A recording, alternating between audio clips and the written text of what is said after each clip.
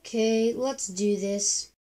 I have no video ideas, and my sports series did really well, so why not make another sports video?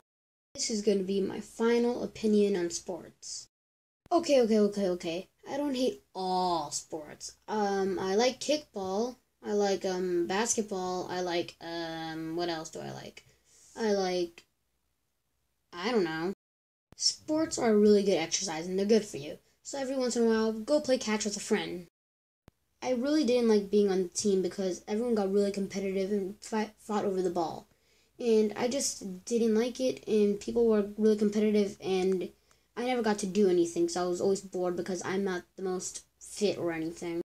For an example, when I play basketball, I have terrible hand eye coordination, so I can never make a basket, and I kind of got mad.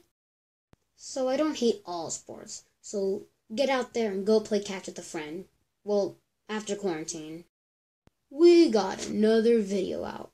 My 40 subscriber milestone special isn't going to be out until I get 44 subscribers because in case someone sub- unsubscribes and then I have 39 people unsubscribe, so I want to have 44 before I make the before I make the special video 40 subscribers. So yeah. Bye.